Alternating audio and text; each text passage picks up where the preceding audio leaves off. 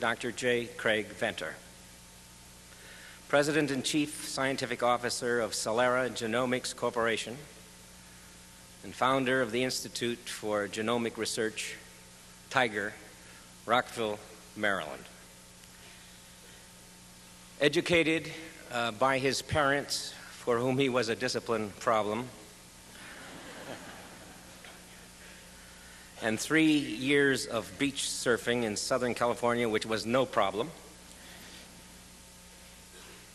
Uh, educated by the Vietnam War, which was absolutely transformative for him. University of California at San Diego, a BA in biochemistry with honors, and a PhD in physiology and pharmacology. Educated by teaching at the University of Buffalo, researching at the National Institutes of Health, educated by Washington bureaucracies and venture capitalists, and by his own strategies for the sequencing of genes that have revolutionized the biological sciences in the 1990s. Dr. Venter has emerged as this year's Time magazine's a scientific icon uh, many of you probably saw it standing there in his white lab coat with his hands on his hips. Uh, he has become an American icon. I don't know what it is else you want to know about this icon. But what I know is that Dr. Venter is brilliant, courageous, very collegial, compassionate, and generous. And it's a privilege to present him to you. Sir.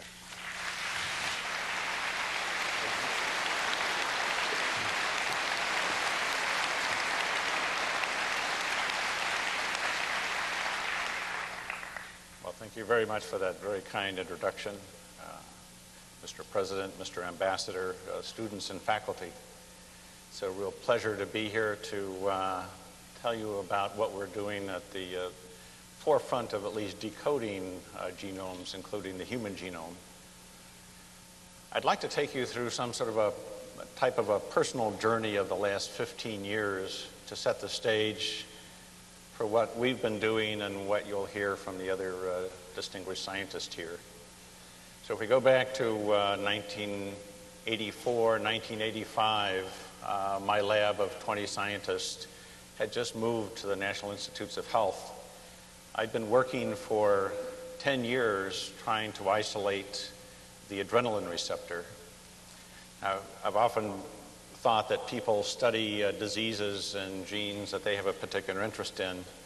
Um, I don't know what drew me to the adrenaline receptor, uh, but I, have had a fondness for it and adrenaline uh, throughout my life. After 10 years of work, we finally had enough protein to finally get a tiny bit of peptide sequence, which allowed us to clone the gene uh, for this receptor from the human brain. In fact, it was, uh, I think, the first neurotransmitter receptor cloned from the human brain. Uh, but in that first year at NIH, uh, we completely retrained ourselves in molecular biology. We decided the tools of biochemistry were not sufficient for going where we wanted to go. So we had the absolute privilege of being at NIH where we could just stop what we were doing and retrain ourselves in a new field. And in doing so, uh, cloned uh, this gene. We had just finished doing this and had published uh, our paper describing the brain adrenaline receptor when uh, it became clear from the work of others that these receptor proteins were part of a very large gene family it looks like they could be as much as 5 to 10% of the human genome, uh, in fact. Uh, and we were looking for ways to characterize this very large uh, family. When I read a very exciting paper uh, published in Nature uh, by tomorrow morning's uh, speaker, Lee Hood, describing what seems like a, a simple but extremely elegant approach that improved DNA sequencing immeasurably, and that was attaching four different fluorescent dyes to the four different letter bases of the genetic code. And that allowed them to be read sequentially. Uh, before that, everybody had to use these uh, uh, radiographic uh, methods that were extremely slow and tedious and even somewhat dangerous in terms of radiation exposure, depending on who was doing the experiment. Uh, so this was a tremendous breakthrough, and uh, I found the uh, company that he had licensed this technology to, Applied Biosystems, and arranged for my lab at NIH to be the first test site uh, for this new instrument. And we got the first automated DNA sequencer in February of 1987. Uh, and a few months later, published the uh, first paper in the scientific literature actually sequencing genes with this technology. Simultaneously uh, is when the first discussions about the Genome Project began. Uh, they began in several sources, but one principally was in the Department of Energy, uh, I think in part trying to find uses for the national laboratories uh, for peacetime purposes. Uh, but several senior scientists, uh, uh, Professor Dulbecco at the Salk Institute at the time, and others chimed in and thought that this was a key project. Uh, there was a lot of debate because the technology clearly didn't exist for it at the time. Um, but I was one of the few non geneticists who got very excited about this project, in part because I just spent 10 years trying to isolate one protein and one gene and if this project had the promise over 15 or 20 years to get all of the human genes, it seemed like a fantastic scientific adventure. Using the first automated sequencer, we actually produced uh, one of the first uh, sets of human genomic DNA. And it's important in terms of understanding where we are now to understand what the issues have been uh, and the changes of strategy. Initially, it was thought that only small clones, small pieces of DNA could be sequenced. At the time, the largest pieces were uh, clones called cosmids. They were about 35,000 letters.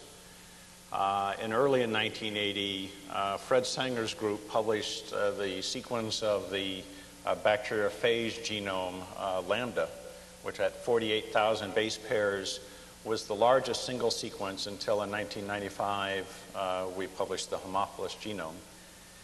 Uh, and so the assumption was that you had to do this mapping stage first, where these small clones were ordered, they were lined up by various methods, and only once you had the complete order would you start to sequence them.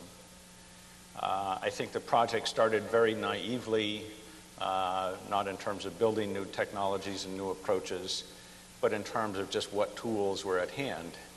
Uh, fortunately, it evolved quite rapidly. We started by sequencing the tip of chromosome 4, trying to find the gene that's linked to Huntington's disease, and part of chromosome 19, where there was a gene linked to myotonic dystrophy. Uh, but what we found is even when we had these uh, very large stretches over 100,000 base pairs of genomic sequence, our computers could not interpret this genetic code. The early assumptions were all we needed were personal computers, and we would run the sequence through those, and we would find all the genes, as it sometimes works in bacteria. Uh, there's tremendous differences between the, the uh, code of the human genome, where only about 5% of it actually codes for genes, and that of bacteria, where over 90% generally codes for genes. So it was very difficult to find these genes. In fact, one of the uh, key findings we made early on is that only by going to cDNAs, and cDNA clones are derived in our cells, uh, we make copies of the, uh, the actual gene in something that's called messenger RNA. Uh, in the heart, the heart cells find all the genes uh, linked to uh, the expression in the heart. In the brain cells, we have just the messenger RNAs for genes in the brain. Uh, we decided to use the cells as our supercomputer because each cell, each of our 100 trillion cells, knows how to find the genes necessary just for that function. Uh, due to another uh, key discovery, early in the history of molecular biology where uh, the enzyme reverse transcriptase was found that converts messenger RNA uh, back into DNA, and that's called complementary DNA or cDNA. We decided just to randomly pick a thousand clones uh, from a brain cDNA library. This is a library of the genes expressed in the brain. And we just sequenced in from the ends instead of taking time to sequence uh, the entire clones. And it was amazing to us that we made uh, hundreds of new gene discoveries in a very short period of time. Because this technique worked so well, we had to name it, so it was called express sequence tags. Express because from the mRNA we knew these were expressed genes, uh, and they were tags because they were just partial sequences uh, from one or both ends of the clone. Uh, this rapidly became a dominant technique and uh, uh, we published the results of this in Science in 1991. And at the time, so this paper described 337 new genes in the human brain. At the time, this is just the start of this decade, out of the estimated approximately 100,000 human genes, we knew the structure of less than 2,000. So you stop and think of all the medicine, all the knowledge that we have it's ignoring almost all of the molecular biology of our own uh, bodies. The human brain, there were only two dozen genes known. So even though this seems like a very small number to us now, adding 337 uh, in a few weeks was a, a major uh, advance. A few weeks later, uh, we published a paper in Nature describing over 2,000 uh, new genes. And this technique has gone on now about 73% of all the genes in the public databases uh, are from the EST method. This is a statistical method and it can discover a great percentage of the genes in a complex species such as our own, but it can't discover all of them. The other problem is back when we were trying to put together these pieces of DNA, uh, one key fact is the sequencing machines can only read around five to 600 letters of genetic code. So if you want to sequence something that's a million letters long or three billion letters long, you have to come up with different strategies. The one that was uh, came, uh, derived out of the NIH program was to try and sequence these small clones. But to sequence a small cosmid clone, you had to sequence a thousand fragments and try and put those back together again. And that was sort of the limitation of our computers and the software at the time was to deal with a thousand pieces of DNA. All of a sudden with ESTs, we had first thousands, then tens of thousands, hundreds of thousands, and now millions of sequences that we wanted to congeal uh, in the computer to represent the unique set of human genes. So one of the biggest breakthroughs uh, that we came up with uh, in, in, forming a TIGR uh, was uh, new mathematical algorithms that allowed us to deal with large numbers of sequences. I left NIH in 1992 and formed the Institute for Genomic Research. Uh, the initial acronym was uh, uh, just IGR, which uh, we read to be Igor. Um, and we were concerned about the bad press we were already getting.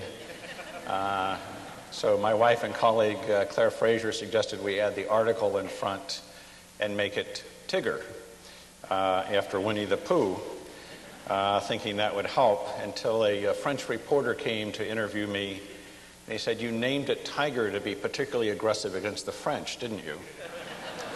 Uh, and I said, Yes, of course. Uh, and it's been TIGR ever since. Um, but what we did at TIGR is we made cDNA libraries from uh, about 300 major organs and tissues uh, and sequenced hundreds of thousands of these EST clones. Uh, we spent a year and a half analyzing the data and wrote up a 200 page manuscript and submitted it to Nature. Now, this is only unusual uh, in the sense if you understand that Nature never publishes a paper longer than five pages. Uh, so the, the editor was uh, very distraught over this, uh, but finally decided to publish the first ever special issue of Nature uh, with this paper in it, and asked us for some art for the cover. And we suggested uh, this drawing that you see here. but the then editor of Nature thought this was far too graphic for the readers of Nature. Um, and I hope at least some of the students of biology have noticed what the problem is, is that this is actually a hermaphrodite. I at least hope somebody here noticed that. And, what it turns out is the Nature editor was concerned about confusing the physicists that read Nature. so he asked if we could come up with some tamer uh, artwork. Uh, we, we, found an Italian artist to help us. Uh, now, I thought this had too many arms and legs, uh, uh, but it seemed to be uh, acceptable. Uh, in this paper, in this special issue that was published in 1995, we described uh, ESTs that collapsed into maybe 35,000 human genes. But of those, we can only put names on about 10,000 because most of them were new and didn't match anything that had been seen before uh, in biology. Uh, but it was a dramatic change in four years from the 2,000 genes that we had in the database when we started. Well, we were reflecting when this was coming out on what we could use these dramatic new tools for and how we could go back and come up with new approaches for the human genome and others. And my friend and colleague uh, Ham Smith, who uh, got the Nobel Prize in 1978 for discovering restriction endonucleases, the molecular scissors that cut DNA at very precise recognized points, suggested that we sequence the genome of E. coli, where we actually try the experiment instead of creating a map of the clones up front, is that we just take this entire chromosome out of the uh, bacteria, uh, break it apart, uh, sequence the little pieces, and try to use our mathematical algorithms and our computers to try and solve this jigsaw puzzle. Uh, Ham and I wrote a grant and submitted it to NIH proposing that we would sequence uh, not E. coli because it was being funded and it was in its, I think, eighth year of funding at that time uh, from NIH. The first three years were just created, it was spent creating a clone map of E. coli. And we said, we, we decided to choose Haemophilus influenza. Ham Smith had spent a lot of his career on it. He isolated the first restriction endonucleases from it. It's a key human pathogen, being one of the major causes of meningitis, uh, and it's one of the few bacteria that children are actually uh, vaccinated against. Uh, we, we, proposed we would use this method, uh, but we were skeptical that we would get funding. Fortunately, we had money in the endowment at TIGR that we decided to use. And we had the project about 90% completed when we got word from the NIH uh, that our project was impossible and they weren't going to fund it. Um, and just a, a, few months later, uh, we published the first genome for a free living organism uh, in the journal Science. Uh, even though this was not our intention when we started this, it was just a basic science experiment to see if these techniques would work. Seeing the first complete genome really transformed my own thinking in terms of knowing that we had to have the complete genetic code of virtually every species that we were working with because it was such a tremendous difference in what we could do with this information. Uh, the circles you see here, uh, ba- many bacteria have a circular chromosome, and the different colored bands that you see going around the edge uh, represent the different uh, genes and the different function by color coding in the genome. Uh, we also have uh, linear maps that allow this to be interpreted more easily. I, I could talk for the next several hours just on all the findings that came out of this single genome, but I think the one uh, that affected me the most was in front of all the genes associated with creating the cell surface antigens, uh, for example, enzymes associated with lipopolysaccharide biosynthesis, uh, iron transporters, uh, anything that was expressed on the cell surface had in front of those sequences a unique piece of genetic code uh, that it was a repeat of four letters of the genetic code. Richard Moxon at Oxford had found this in front of one gene and proposed that this was a novel mechanism for antigenic variation.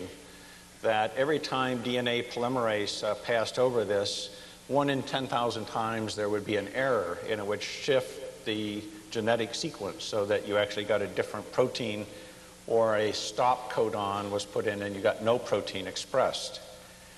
What was found is that we found these, as I said, in, in front of almost every key cell surface uh, uh, gene and enzyme controlling cell surface molecules. And what it became clear is what Darwin proposed in evolution, that it was just a random error uh, system, uh, you know, just random chance or variation is not quite correct. And now that we've done dozens of uh, key human pathogens, we found these mechanisms, one type or another, in every single genome, where basically it's pre-programmed into the genetic code to have variation. So genomes are not static. That's the reason virtually everybody in this room has Haemophilus influenza in your airways. It's evolving in real time, fooling our immune systems, uh, changing its cell surface antigens, and surviving. Real time evolution through these pre programmed mechanisms. When we were looking at these genomes, we, we found there were roughly 1,800 genes. And uh, Ham and I were having a little celebration when the science paper came out and it was sort of a time for true confessions. And I said, You know, Ham, I, I have to confess, I'm, I'm really glad you understood all this, because uh, I didn't. Uh, he said, Me, I thought you understood it all. Uh, and what we decided as a genome with 1,800 genes was beyond either of our mental capacities to understand how they all work together to form a living cell. And so there are several choices open to us. Uh, we could do what happened with the yeast genome once it was finished a few years later, where yeast researchers around the world are doing knockouts where they take out one gene at a time to try and see whether, uh, what that does to the function. We decided to look for a, a simpler biological answer, and we found an organism uh, being characterized by Clyde Hutchison in North Carolina called Mycoplasma genitalium. Uh, this is a, a picture of it here where it attaches to human cells by a small uh, foot. Uh, Clyde had indicated that this genome was probably the smallest for any free living organism uh, seen, and we decided it would be a great one to sequence the genome of. Uh, I don't know if this shows up. These are two different views of Mycoplasma genitalium, one an electron micrograph and one a Gary Larson cartoon. Um, it says, Hey, I've got news for you, sweetheart. I am the lowest life form on Earth. Uh, we, we, decided this was a great opportunity to study uh, the basis of life. Uh, Claire Fraser led the team that sequenced this genome. It took only three months to decode it. And this is the genetic map. There's 470 genes uh, in this chromosome. Um, and so uh, upon finishing this, we immediately asked, well, how can it live with 470 genes and Haemophilus needs 1,800 and we need about 100,000? Is 470 really the smallest number that's needed for life? Uh, it turns out there's a lot of things that happen in evolution. There was a second mycoplasma that was sequenced a, a few months later, Mycoplasma pneumonia, uh, associated with walking pneumonia. Uh, that is slightly larger. Uh, it has about uh, 680 genes. But one interesting finding was all the genes that were in Mycoplasma genitalium had counterparts in Mycoplasma pneumoniae. Uh, pneumoniae genome uh, was just roughly 200 genes bigger than genitalium. So sometimes evolution works, particularly with pathogens, by these organisms throwing out DNA as they form a symbiotic relation. Both these organisms are uh, human pathogens. Uh, basically, everybody uh, uh in this room has uh, both these mycoplasmas associated uh, with our physiologies. And so they derive from a much larger gram-positive organism with as many as 5,000 genes by throwing out genetic material, for example, as they developed in uh, concert with our bodies to provide the key nutrients that they needed. We decided this was a perfect test bed for evolution, and uh, we started a project on transposon insertion. What transposons are, they're uh, like small uh, viruses that can insert randomly in the genetic code. But because we had the complete genetic sequence, uh, we could work out exactly where each of these insertions took place. So we could create a map of the uh, genome. And the assumption was is that the 200 extra genes in pneumoniae should be all knocked out without killing the organism. Uh, it turned out uh, that was the case, Uh, we sequenced about a thousand uh, junctions from each of these species, and we found that we could disrupt a significant number of genes in each of these. To make a very long story short, we got down to around 300 genes that we decided were probably essential for life because we couldn't uh, knock those out and keep a viable uh, species in the laboratory. In looking at the functions of these different genes uh, was really stunning to us. Uh, genes associated with uh, energy metabolism, uh, translation, replication, transcription, things part of the basic cellular machinery most of these genes were essential and we couldn't knock them out. Two different groups, uh, the unknown class, which represented about a quarter of the genes in this genome, uh, we could knock out roughly half of them, but there was 103 genes that we have no idea what they do in biology that proved to be essential for life. Uh, the other category was ones associated with the cell envelope, things associated with antigenic variation that should be variable. But I think this was a very stunning finding to us that out of the 300 genes for creating the smallest living organism that we can conceive of at the present time, one third of those genes we have no idea whatsoever what the biological function is.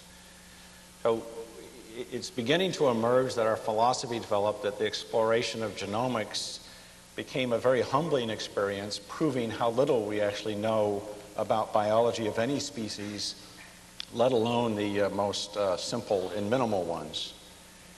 Well, the third genome we decoded came from an unusual uh, source. Uh, this is the research uh, submersible Alvin out of Woods Hole that went to uh, this black smoker off the coast of Mexico, a mile and a half deep in the ocean. The temperature in the center of this plume is about 400 degrees centigrade. The surrounding water is about 2 degrees centigrade.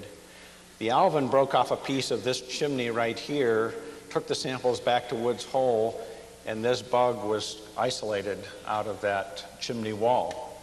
It was named Methanococcus jannaschii after Holger Jannasch, the expedition leader.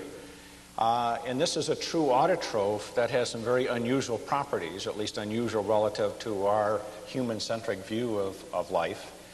Uh, at our body temperatures, this organism is frozen solid. Uh, it comes to life about 60 degrees centigrade.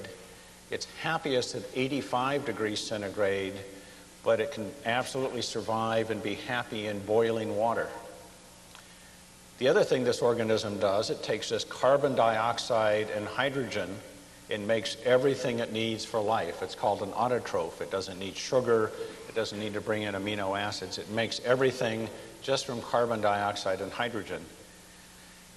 Well, a few years ago, this sounded like something that would have come from outer space, uh, not something that might be ubiquitous on this planet. And when we decoded this genome and published the results uh, in Science in 1996, the biggest discovery was over 50% of the genes in this species didn't match anything we'd seen before. And there were whole sets of genes in a row uh, called operons which we assume code for whole new physiologies that we don't have the slightest clue about uh, that we found uh, embedded in these uh, chromosomes. Uh, this changed our view of the world. Mycoplasma and Haemophilus had a lot of genes in common, and we began to think that the uh, Earth's gene pool might be a lot smaller than we had expected. Uh, this very dramatically changed our views, and it's only grown exponentially uh, since that time. The initial plans from NIH and DOE was to determine the genetic code of only one bacteria, that is the laboratory uh, tool E. coli. And it was thought that all of the microbial world looked alike, um, and we didn't need to do any more species. Well, we're in, clearly in an exponential growth phase since we published the first two in 1995 in terms of the number of different uh, bacterial species and microorganisms that are now being decoded. And just a few months ago, the American Society for Microbiologists had a meeting on microbial genomics and decided that we now need to do at least 500 microbial genomes just to get a hint of what's out there. Uh, and that each one of these genomes is providing such tremendous new information uh, that it's stunning everybody. I'll give you a few more examples. Deinococcus radiodurans was isolated in the 1950s by the attempts to irradiate meat uh, for sterilization. And regardless of the dose of radiation used, a red pigmented bacteria kept growing out of this. Uh, it turns out this organism can take phenomenal doses of radiation, up to 3 million rads of radiation. Uh, I was showing this to the Department of Defense, and I said this was their data on humans, and this was E. coli. Uh, and a lot of people looked very embarrassed. These were both different bacteria. Uh, so I think somebody did that experiment once. Um, but these are phenomenal doses of radiation, and what happens is the chromosome gets blown apart. Here's two glass beakers. Uh, this is after about a half million rads of radiation. The beaker started to burn and crack and melt, but the bacteria in the bottom just kept happily replicating and saying, you know, could you turn up the heat a little bit, please? The chromosome gets blown apart into hundreds of little fragments that miraculously over 12 to 24 hours, it stitches these fragments back together to reform its chromosome and it starts replicating again. Uh, I think this is one of the most amazing uh, processes we've ever seen. And you can, you can ask, well, why would an organism evolve, uh, particularly before atomic energy, to survive millions of rads of radiation? Well, the other key fact about this organism is completely desiccant resistance. It, has been found ubiquitously on the planet. It's been found on granite surfaces in Antarctica, completely dried out. And we think both the process of desiccation and absorbing doses, cumulative doses of ionizing radiation over a long period of time are probably linked uh, biologically. Uh, Francis Crick and others have proposed uh, panspermia as the origin of life on Earth. That means life came in from some other uh, planet uh, or some other part of the universe uh, and established itself here. This organism would be a great candidate for panspermia uh, because it can absorb huge doses of radiation. It could survive a space environment. Uh, it would reach an aqueous source, stitch its genome back together, and start replicating again. But don't get too surprised when you hear Dan Goldin uh, announce that they discovered Deinococcus radiodurans in outer space, uh, because every time they flush the commode on the space station or the uh, shuttle, uh, millions, if not billions, of copies get launched into outer space. Uh, and it's definitely out there uh, floating around and will come back at some stage. I think one of the most exciting projects is coming up with the attempt to intercept a, a, meteor, uh, a comet tail uh, to see if there's any microbes uh, in the uh, frozen uh, ice. this genome has just been decoded and it actually has three chromosomes in a plasmid, which was a very different structure than scientists studying this did, assumed it had. And the different chromosomes contain genes associated with different functions uh, leading us to believe that this evolved through some unusual steps uh, in evolution. Well, uh, earlier this year, we published a paper describing the genome of Thermotoga maritima. Uh, this is the Carl Woese evolutionary tree showing the assumed three branches of life that were in fact confirmed by our sequencing of uh, Methanococcus, at least at some level. The thermotogas are one of the most deeply uh, rooted uh, bacteria, and it's thought to represent a truly ancient bacteria, so we decided it would be a great genome uh, to decode. What we found on decoding this genome was, in fact, a lot of the genes look like they came from the archaea through a process called lateral gene transfer.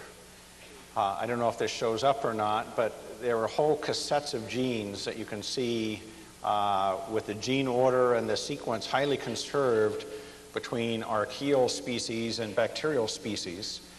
And we think this is a very key part of evolution. Evolution is not just mother to daughter transmission. Uh, organisms are constantly exchanging DNA in unusual mechanisms uh, with viruses, with other uh, mechanisms. And I think this is the first very clear cut evidence of this.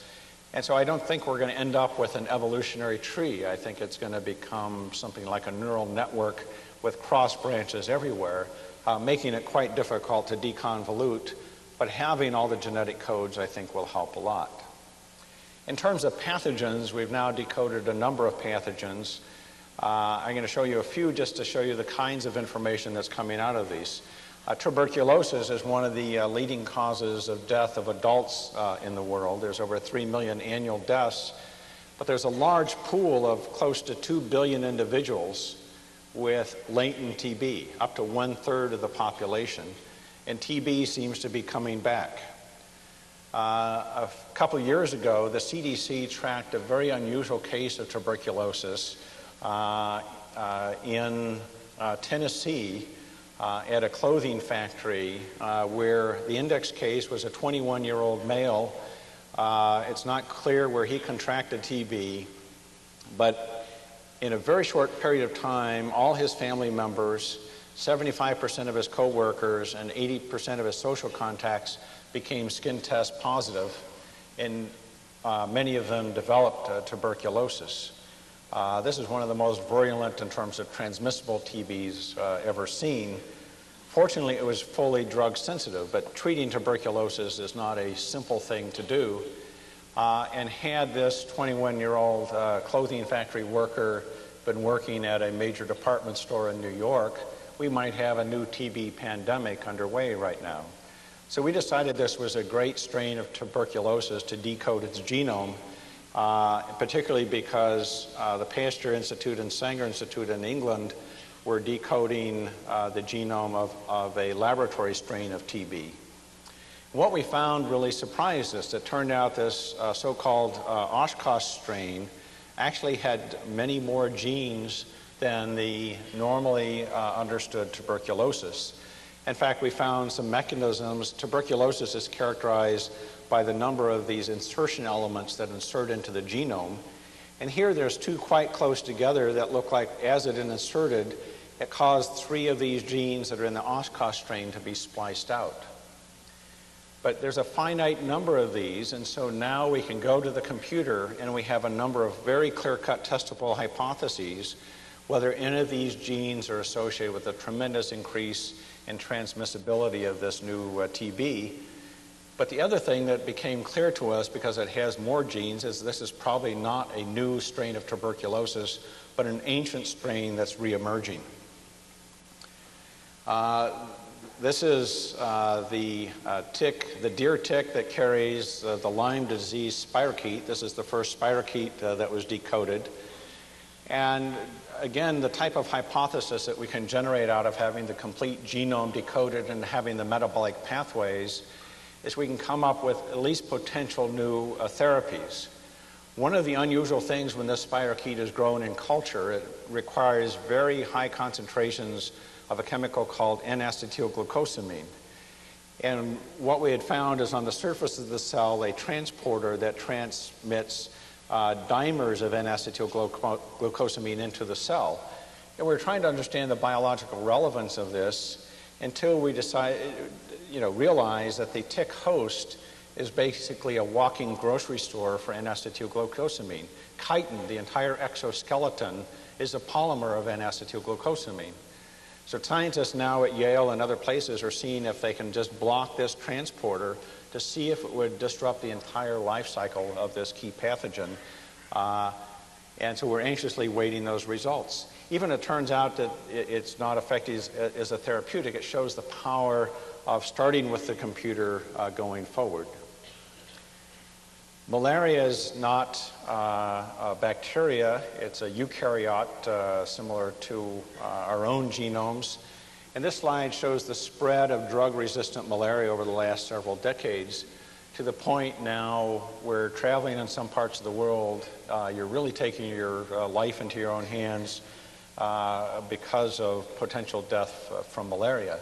The U.S. military realized that and realized that in the first few months of sending, if not the first few weeks of sending troops to some of these areas, it could result in as many as one third of their troops as casualties uh, from uh, mosquito bites because of drug-resistant malaria.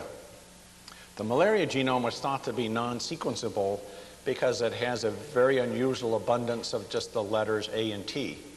Uh, in fact, the malaria community had trouble cloning genes, and the notion was that it was, it was going to be non-decipherable.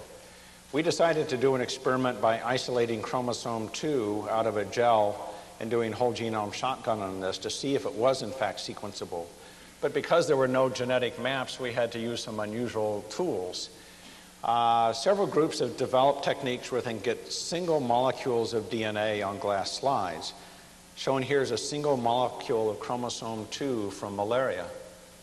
What was found with these single chromosomes eh, on these glass slides, you could treat them with restriction enzymes and the enzymes would still cut. So what's seen here is these gaps are where the enzyme cut because there's surface tension on the glass, the ends would pull away. And so we could amazingly do restriction digest maps of single molecules of chromosomes. And we use this information uh, to verify the final structure that we ended up with and published this uh, last year in Science. Uh, this is probably impossible to see, but this is a, a lower eukaryote. Uh, a lot of the genes are broken up with introns, about 40% of them. Uh, and you'll see as we look at higher and higher species, we see more of these introns, which allows more and more genetic variation to take place. Uh, at TIGR, the first uh, plant chromosome has now been completed. This is from the International Project to Sequence the Arabidopsis uh, genome. Uh, there's five uh, chromosomes. Based on genetic maps, it was thought that chromosome 2 was the smallest, when we actually sequenced it, it ended up being a lot uh, larger than was anticipated. And now a European group has just about finished chromosome 4, and these two uh, chromosomes will probably be published together uh, later this year. These chromosomes resemble our own chromosomes in terms of having centromeres and telomeres at both ends. And for the first time, we're able to scan along and look at the uh, the DNA content and the gene density. And here in the centromere, the gene density goes way down, but it's pretty uniform along the chromosome. But these random insertion elements go way up in the centromeric region. Uh, but amazingly, we still found uh, key genes in the centromeric region, even though they were far uh, lower density. For example, an RNA uh, helicase uh, was a key gene that was found early in this region. One of the surprises we found in sequencing this chromosome was that there was a complete copy of the mitochondrial genome inserted into the Arabidopsis chromosome. We thought at first this was an artifact, but we could sequence off uh, both ends of this uh, mitochondrial insertion and prove that it was actually inserted into the chromosome. What this graph shows is that it, if it was an exact match, you would see just one solid line of identity what happens is the, uh, the chromosome underwent rearrangements. And again, we think of chromosomes as being static entities, but it turns out mitochondria uh, rapidly rearrange. We don't know if this is a functional copy of the mitochondria that's actually in the chromosomes, but it's typical. Every genome we look at, every chromosome, we find uh, some absolutely amazing findings. Well, we were thinking that we were able to deal with a wide range of genomes from very high content of G's and C's, which people thought would be non-sequenceable, to very low content of G's and C's, which people thought would be non-sequenceable. And all these worked extremely well with the whole genome shotgun method. And we were looking to expand this to larger species, but we're waiting for a technology breakthrough.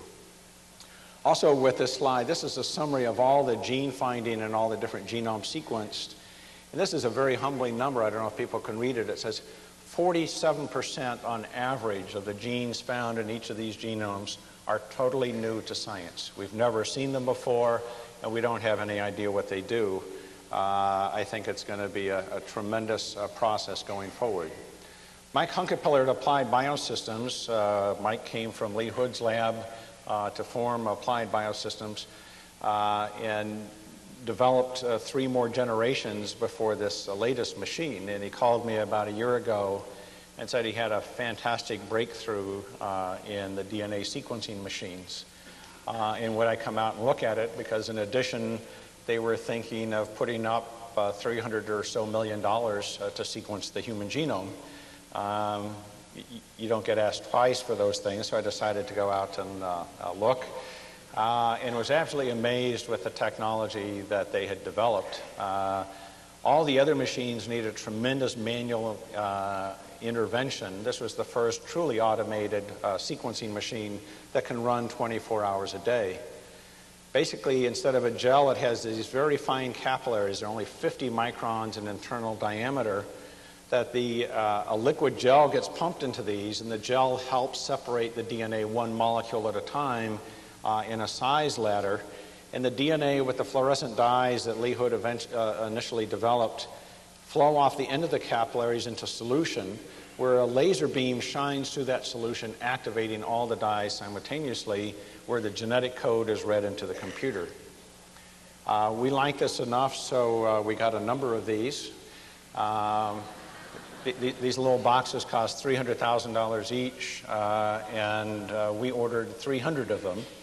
Um, and have set up uh, the largest sequencing factory in the world uh, by quite a bit.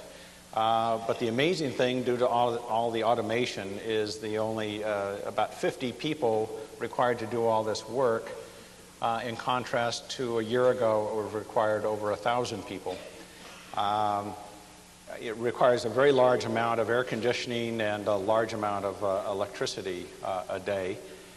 But I think one of the things you'll see in a minute on, on a video is the most important thing we've built is the world's second largest supercomputer facility, which is what we need to interpret this genetic code. Uh, it's such a huge calculation, uh, it requires so much compute power uh, that even with uh, these tremendous uh, number of the new uh, Compaq alpha processors, I think we're still going to be computationally limited, even though we can do over 250 billion of these complex comparisons per hour per chip. If I could have the video, please.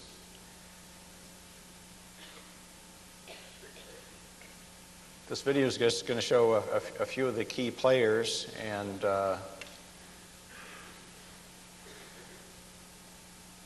and some of the facilities.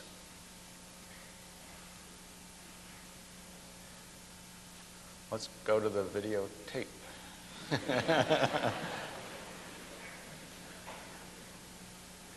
This worked so well this morning when we tried it.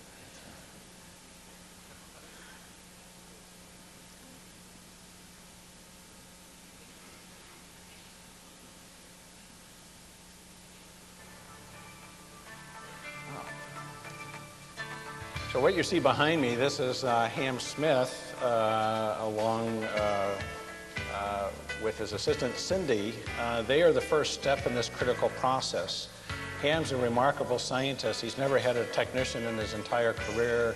He's always done his own work with his own hands, and that's why he's the best in the world at, at what he does. And handling the large samples of DNA to make these critical libraries is an essential part of what we do.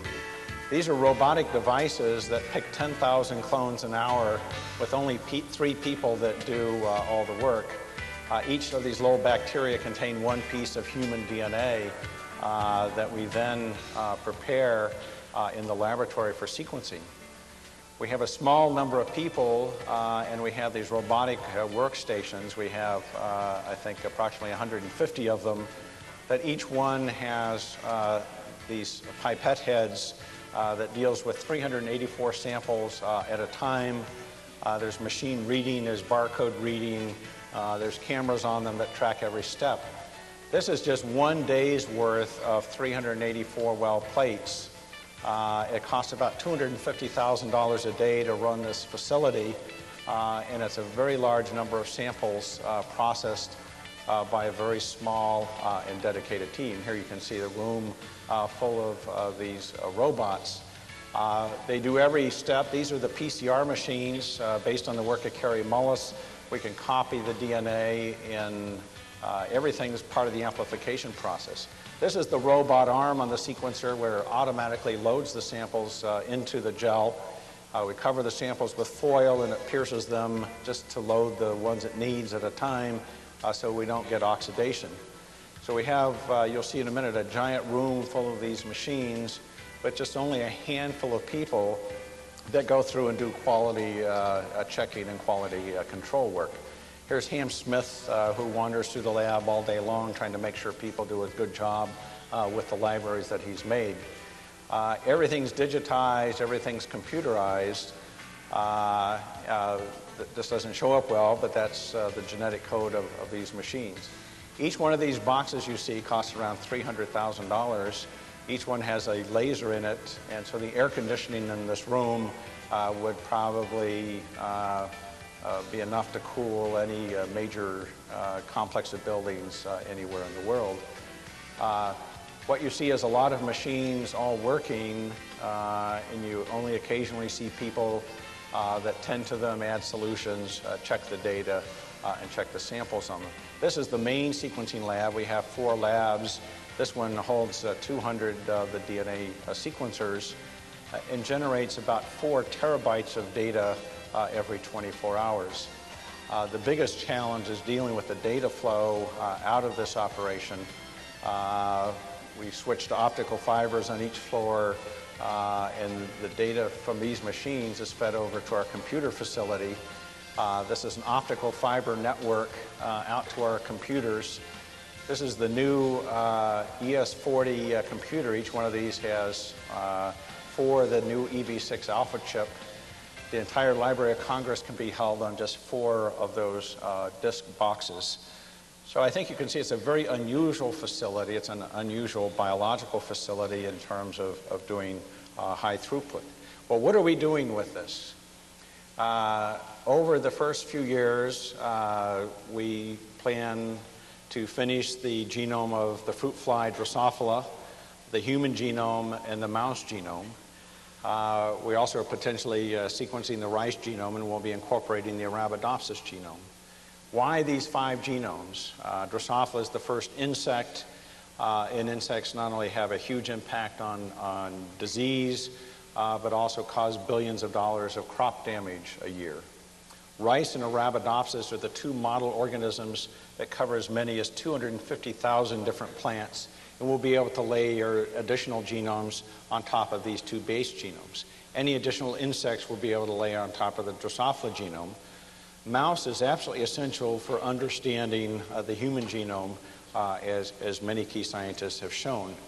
In fact, uh, this shows the, the color-coded human chromosomes uh, overlaid with the mouse chromosomes. So even though they don't correspond one for one uh, because of recombination, uh, basically you can cover the entire mouse genome by layering the bits of the chromosomes on top of human, and that's what we'll do with this process. We can go from biology in the fruit fly, the PAX6 gene, uh, if you have mutations in that gene in Drosophila, it leads to an eyeless phenotype. Mutations of the same gene in mouse uh, leads to a blind uh, mice, uh, maybe three of them. Um, mutations in the PAX6 gene in humans lead to a disease called aniridia, uh, where these children are actually born without an iris, so they can't regulate the amount of light going into their eyes and they usually end up going blind at a very early stage. Uh, in every case, can we rely on data from the fruit, fruit fly or the mouse? No, but I think in most cases uh, we can. Uh, the Drosophila genome, which we announced, we completed the sequencing phase a little over a month ago, uh, is one of the most important models uh, in all of biology. The history of Drosophila genetics is the history of human genetics, basically, the first genetic maps uh, were generated in Drosophila at the start of this century, and those techniques have been copied uh, into human. Now, when we sequenced the Haemophilus genome, which was 1.8 million base pairs, we had to sequence about 26,000 clones. It took us about four months at TIGR to do that with about 24 staff. And we had one person, Granger Sutton, who developed the key algorithms for assembling that data. With what we just finished in Drosophila, the genome is 77 times bigger. We had to sequence over 3 million clones. It only took four months uh, with a staff of about 40 people, but the number of algorithm specialists has expanded uh, substantially. Uh, Granger Sutton came over from TIGR, and Gene Myers came in from the University of Arizona to hold up our, hold up our uh, algorithm development team. We've now compared the assembly of Drosophila against the known map of Drosophila, and out of 1,700 uh, STS markers, we found only 12 discrepancies. The first thing Jerry Rubin, our collaborator at Berkeley, said when he saw this is he didn't realize his map was that good. Uh, more importantly, we compared the sequence that we generated to about 22 million base pairs that had already been sequenced by the Berkeley group And out of all the matches, there was only one discrepancy. Uh, Rubin went back to his lab and they checked the clone and found that they had an error in that clone. It was actually a chimeric clone uh, that had rearranged. And now we're down to zero discrepancies between our mathematical uh, assembly and what had been done a clone uh, at a time. Drosophila, as I mentioned earlier, is a key model for human disease genes. If you look at 110 human disease genes on the NIH website, uh, the biggest number of matches is to Drosophila. 73 of them have counterparts in Drosophila, 52 in C. elegans, and 25 uh, in yeast. So I think uh, uh Drosophila is going to have a huge importance. Now, the shotgun sequencing model, what most people don't realize is you get most of the data uh, very early in the process. Uh, after 3x coverage, we essentially have uh, the entire genome. 3x means we've sequenced the genome uh, an average of three times. The key basis of how the mathematics works, and it's remarkably simple in concept, and execution it's a little bit more complicated, is we decided to sequence two different size clones of DNA, those that are 2,000 letters long and those that are 10,000 letters long. And one of the key features is we sequence 600 letters in uh, from both ends. Uh, in addition, we have both ends uh, from uh, BAC clones that are 150,000 letters long uh, from the Berkeley uh, project. And in human, we have those from the TIGR effort and the effort in Lee Hood's lab doing BAC-end sequencing, a method that Lee Hood co-described with me. Uh, a key assumption with this, because you, have probably read, everybody thought the repeats in the human and other genomes would totally foil this process. And I, I credit Gene Myers with this, as he realized if you just ignore the problems, we can fundamentally put 99.7% of the genome together without even worrying about the repeats. So the philosophy was to concentrate first on what we knew and we could easily solve, and when that number is 99.7%, uh, it, it, was pretty good. Uh, the key part are these mated pairs uh, from all the clones. Uh, in addition, for joining the scaffold, we require two different sets of these mates, which means that there's one chance in 10 to the 15th that we would make an error if we require uh, this type of scaffolding. Uh, an assembly progression actually goes together very quickly. I don't know how well it shows up here. Uh, that's 8x, 9x, 10x coverage. We're at 10x coverage before we do any other work right out of the computer. Essentially, the entire chromosome uh, is ordered. Now, with the human genome, we're going up a little bit in size to about 3.5 billion letters. We have to do 64 million sequences in contrast to 3 million for Drosophila. And we think it's going to take us on the order of uh, 12 to 18 months uh, with a staff of only 50 people, and we've added a few more people to the algorithm group. But you've heard now the changes in the public program, uh, which we consider very complementary to what we're doing. And you've heard this term draft sequence. Well, draft sequence equals gene discovery. And a very important part of shotgun sequencing is between 0 and 1x coverage, we get essentially 100% of the genes uh, that are multiple exon genes and it's not far behind even for single exon genes. Uh, we're going to make the two processes go together. Our plan is uh, very aggressive. We expect to have one X coverage of the human genome by December of this year. We're close to that goal already. Uh, that'll give us 67% of the genome and about 90% of the genes. By early spring in March, we'll have 90% of the genome covered uh, and by April, we'll have over 97% of it covered. Uh, the public effort is working on the clone by clone approach, where they hope to have partial coverage of a large number of BAC clones covering the genome. And what we found is that we can put these two together and we think move up the timeline for having the human genome sequence completed to sometime in next year. Uh, this is what draft sequence looks like from a bacterial artificial chromosome. You have a number of different sized pieces, all less than 20,000 letters, where the goal is to get it all put together at 150,000 letters.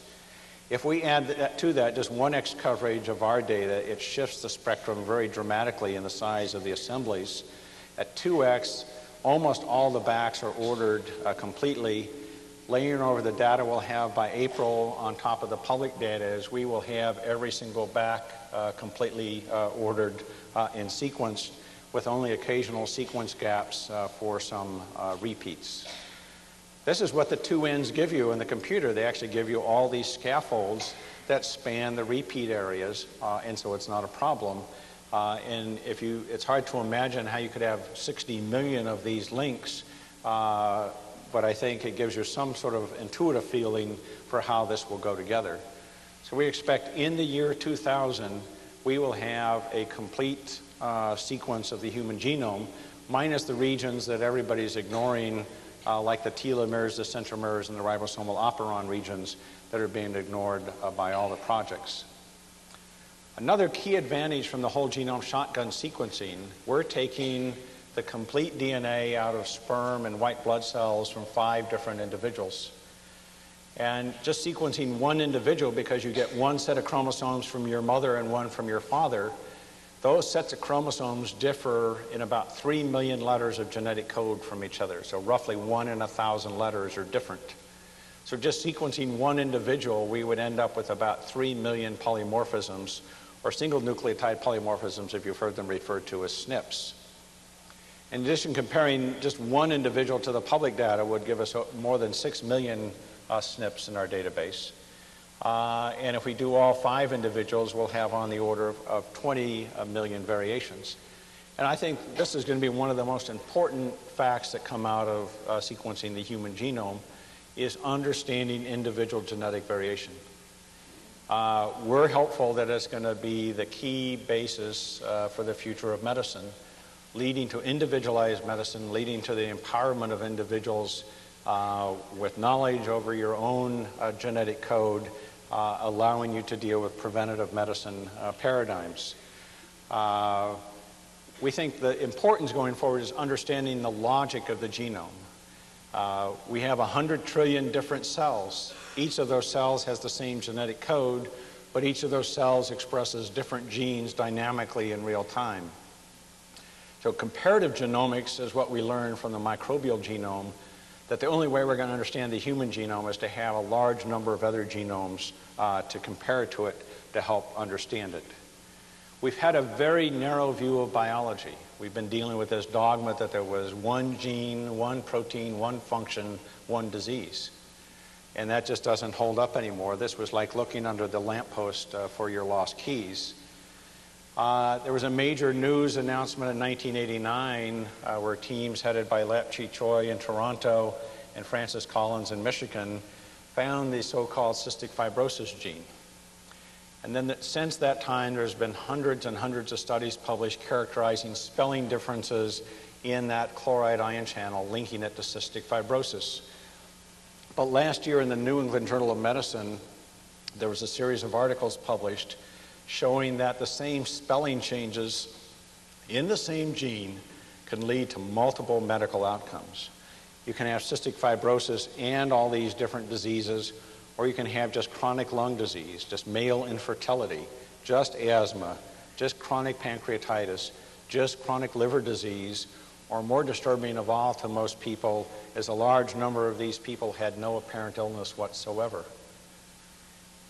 If we're asking for too simplistic of an answer, we're going to get fooled like this. Uh, with the dynamic changes that take place as we go from a single cell to 100 trillion cells with all these genes interacting, we're all going to be different in key and subtle ways. This is going to be important in terms of uh, whether you're the, one of the 60% of the population that most drugs help versus the 40% that they don't help or actually even toxic to. With cancer chemotherapy, only 30% of the patients respond to any therapeutic regimen. Uh, if we can predict who in advance will respond and who won't, uh, I think it'll result in a major change in medicine.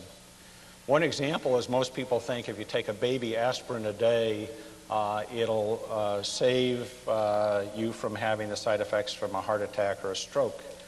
It turns out that's only true for one out of three individuals. But because it affects so many people, everybody's told to do it, uh, particularly by the aspirin manufacturers. Um, I, it may be a trivial example, uh, but understanding your own genetic code and your genetic differences will help you to understand where you're one of those uh, three or the literally millions of other examples uh, that will come up. Uh, I think the impact of having these sequences is going to be a new starting point in biology and medicine. It's not an endpoint on its own. We view it as the starting point for what we hope to do. Every technique that's ever existed in biology will come back to be absolutely uh, essential. And you're going to hear, obviously, uh, in, in, many of the uh, following talks, particularly from uh, Dean Hamer about genes and behavior we're going to start to understand uh, the genetic basis of traits, uh, personality, intelligence.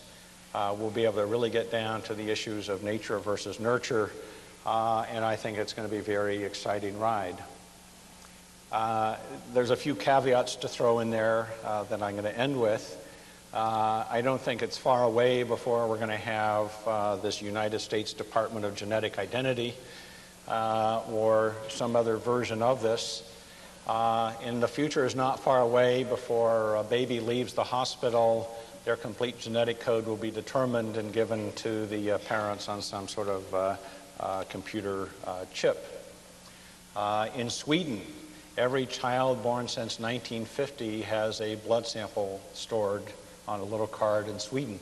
It'd be possible to go back and, and genotype the entire population of Sweden, everybody born there, and understanding the genetic outcomes. Uh, this is a physicist that actually works at TIGR who put together a, a much nicer genetic profile for himself than ended up on this slide. Uh, I, I, altered it somewhat, but gave him the chance to remove his picture. But he was so delighted that you'd be looking at his picture um, that he decided to leave it, which makes me think some of my adjustments might be very appropriate. Uh, but I think it's very important to note that he has 0% chance of getting ovarian cancer. Uh, so I, I think genetics is a wonderful thing. Um, I, I think the concerns as we get into trying to understand behavior is the difference between statistical references and actual causal effects. Uh, and the, the literature is becoming full of sequence variations in the genetic code linked to different behaviors. And you're going to hear some excellent studies uh, uh, with Dean. But I think we have to be very cautious about these. Uh, in the 1930s, studies done at Cold Spring Harbor led to the eugenics movement that led to some of the atrocities that happened in Nazi Germany. Uh, it's very easy to look back on science and see the foolishness it's very difficult to look forward and see it and understand that if we're not really diligent, uh, both as scientists to ensure that only top quality science gets through, but as a society with the efforts you're making here to educate yourselves uh, are absolutely essential. If, if you don't become educated in these issues, you're going to abdicate all the decisions uh, to politicians and to scientists. Uh, Art Caplan just did a very interesting experiment that, that I think is, is summarized nicely on this slide. He asked the Pennsylvania legislature where their genome was. Uh, a third of them thought it was in their brains. Uh, a third of them thought it was in their gonads. Uh, and, and a third didn't know. And this was a group about to pass laws on banning human cloning when they didn't understand the most fundamental uh, issues uh, that they were dealing with. And this is a very disturbing quote from an Arizona state senator who, uh, that's an abortion of a Shakespeare quote. People used to think their destiny was in their stars. Now we know it's in our genes, it's in our DNA. But I don't think you'll find any scientist that's on this program that believes in absolute genetic predeterminism. It doesn't work for Mycoplasma genitalium with 300 genes it was the single cell. It certainly is not going to work for us with 100,000 genes and 100 trillion different cells. So I think we need to be extremely cautious as we go forward. Thank you very much for your attention.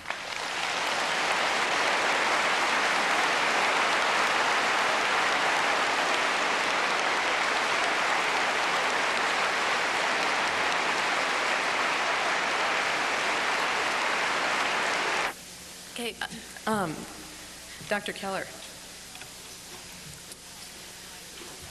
I can't see. Yeah. Where is, uh, He's over here. on my other side. Here you Yeah. are.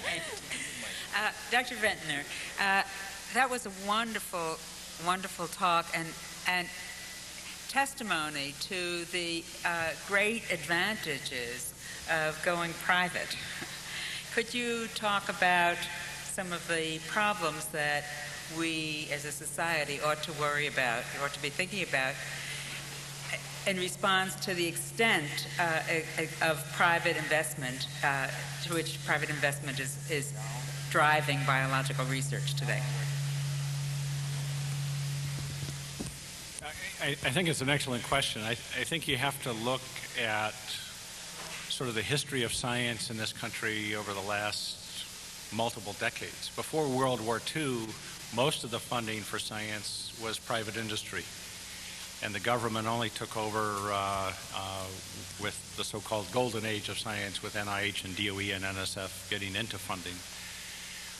I think we would not have had the, the breakthroughs in this field. Uh, Lee Hood sitting down the table from me, it would have been an obscure finding in his laboratory had he not helped start a company to make these instruments, which then went on to invest hundreds of millions of dollars a year in research uh, to go forward.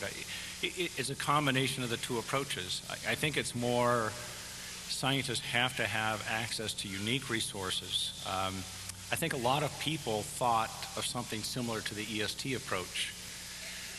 But the day after I thought of it, uh, flying back on an airplane from Japan with nothing to do for 12 hours, I could go in the laboratory and do the experiment because at the, on the intramural program at NIH, the scientists have the advantage of having money to go do the experiment. If you have to spend uh, a long time, a year or so, writing a grant and waiting for somebody else to like a new idea, most ideas go down the toilet. Uh, if we did not have independent money to do the Haemophilus genome, that experiment would have been years away from being done. So I, I view it, obviously, in my own history as an absolutely necessary component. I would not have been able to do most of the experiments that I have done and am now doing without private capital going into it. And I think there would not have been a genome project without private capital. Those speak to the advantages, but now what about the disadvantages and the, and the potential problems? Well, there's lots of disadvantages. The, the, good news, we're a public company on the New York Stock Exchange. The bad news is we're a public company on the New York Stock Exchange. Uh, so I have thousands of bosses.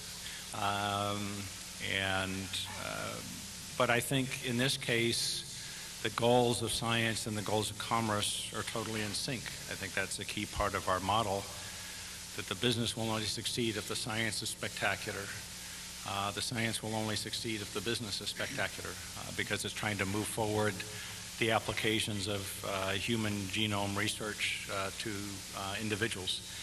Uh, that doesn't mean they always are, but I think it's something we've strived for in our own particular case. But nothing comes for, for, free, whether it's from the government or from private industry. You know, in that same vein, one of the uh, one of the interesting things about Celera when it was first announced is uh, Craig made the um, commitment to make much of the data that we're talking about public. And what I'd like to ask you, Craig, with a thousand bosses or even with the board of directors, will you for certain be able to execute uh, that kind of commitment? Because it must be a temptation for a board of directors to say, look, we've, we've invested $300 million in this. We have other competitors out there. If we make it public, then they benefit from the investments we've made. So I'd, I'd be curious about your thoughts there. In fact, it's a question we get all the time, uh, and it's a very simple one to, to answer. Uh, when this opportunity first arose, and I met with what were then the PerkinElmer executives, um, and they said they would give me the technology and the money to sequence the human genome uh, with our whole genome shotgun method. I, I, said I would only do it under one condition, and the condition was that we were able to release the data publicly and that the company would not attempt to hold it privately. I didn't have to convince anybody. Uh, I think everybody feels with this particular genome, there is no other choice. it, it is the moral thing to do, and it's the best way to move uh, science and medicine forward. Uh, in fact, the stockholders had to vote for the reorganization of PerkinElmer to form PE Biosystems and Celera.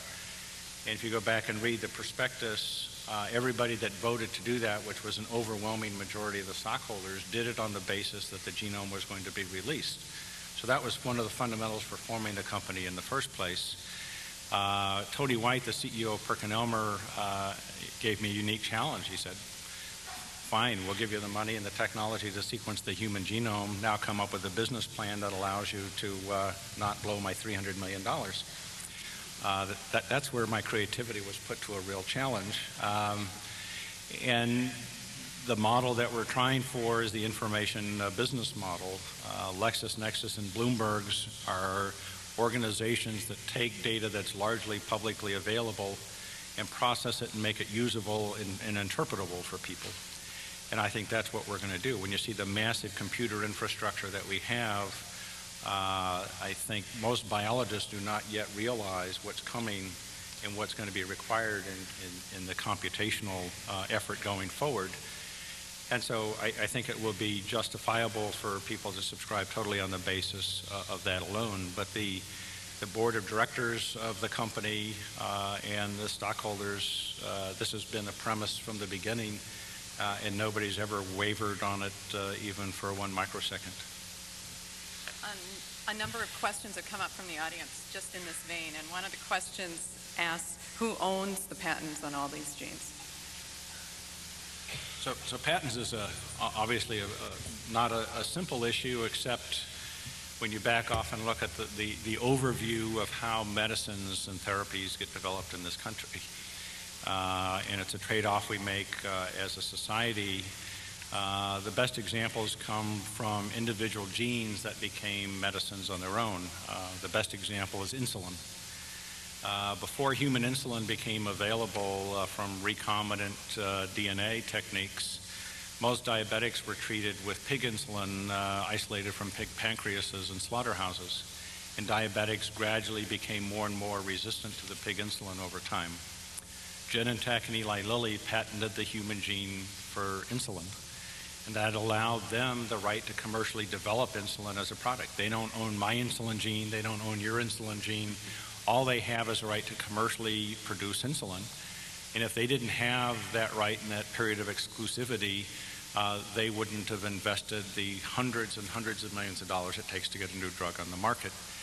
Uh, there is no purpose that I know of for having a patent on a human gene other than trying to further the development of new medicines and new diagnostics uh, for the benefit of the American public. Uh, the fact that some people take huge financial risk, uh, more biotech companies I think go under than succeed. Uh, they only succeed if they come up with a new therapeutic that really helps the population. Uh, so who owns the patents or the companies, the investors, the NIH, uh, the universities? the NIH has filed more human patents than Celera has to date.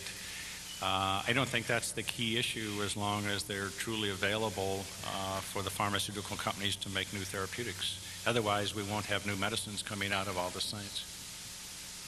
Um, several questions that come up from the audience in regards to um, just genomic structure, and uh, maybe combine both of these and have you or anyone else comment on them.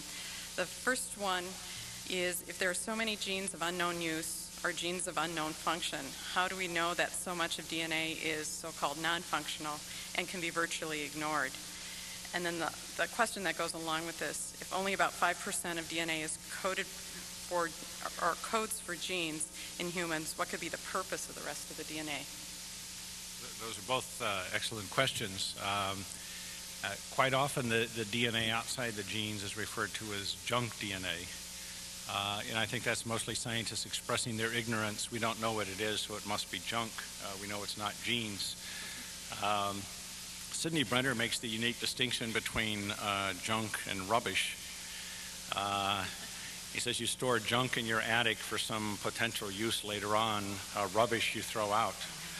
Um, I, I, think certainly uh, all the repetitive elements in the genome play a key role in evolution uh, in the rearrangements of DNA. Uh, I, I, assume Lee Hood will be talking about the tremendous work he's done on the T cell receptor domains and others. the genomic sequence in our lymphocytes is different than the genomic sequence in the egg cells and sperm cells. Uh, we're constantly evolving and changing. Uh, the DNA between uh, the chromosomes from our two parents uh, interchanges and uh, forms new chromosome structures. The so-called junk areas are absolutely essential for that. They're essential for chromosome replication. Uh, I think we're still learning the genetic language. We know lots of three-letter words. In the last year, I learned a lot of four-letter words. There's clearly six-letter words. There's advanced punctuation. I think one of the first things we hope to find out of the genome is the tissue-specific promoters, the signals that says this gene should be expressed only in these cells in the heart and not anywhere else in, at this certain period of time. Uh, Inder Verma at the Salk Institute has used some of these tissue-specific promoters to develop new routes for gene therapy, actually using uh, an inactive AIDS virus uh, and a human tissue-specific promoter. He got the human gene to go to the right place uh, and it be expressed. The challenge with gene therapy is we're not just a big bag of protoplasma. We have 100 trillion different cells, and the challenge is to get the genes to go to the right place. So that's part of the junk DNA that's in there. I, I, I think it's largely an ignorance factor. Dr. Blackburn. I'd like to expand on what Craig said because we've been thinking about the genetic information as discussed this morning in a somewhat linear form.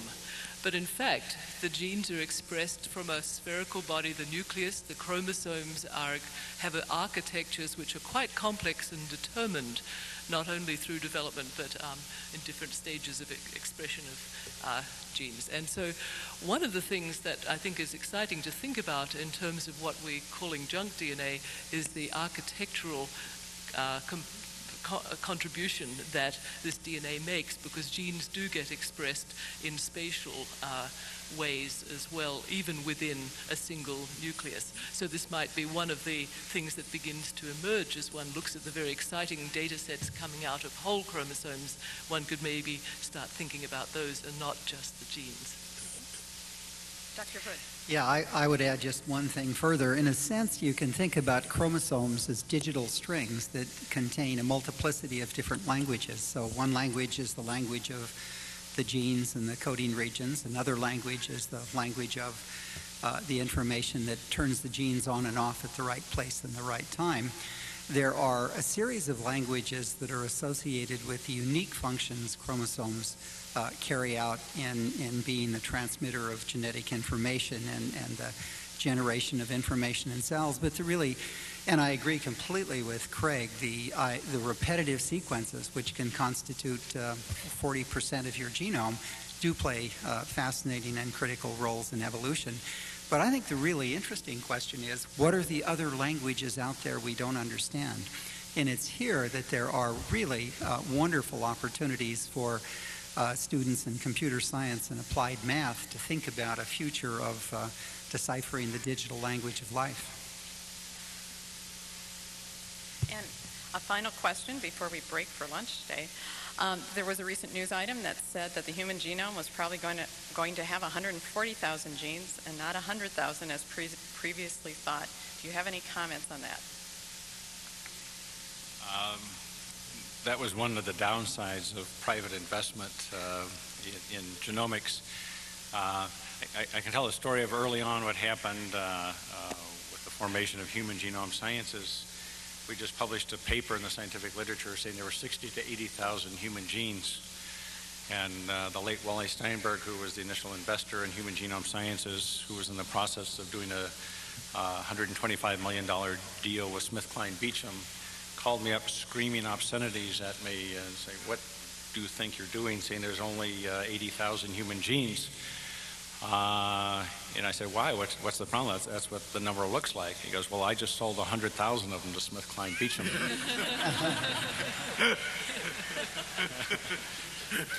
Can I make one, one comment? The, the, the, other question that is very interesting for the audience is, is we don't know how to define a gene very well.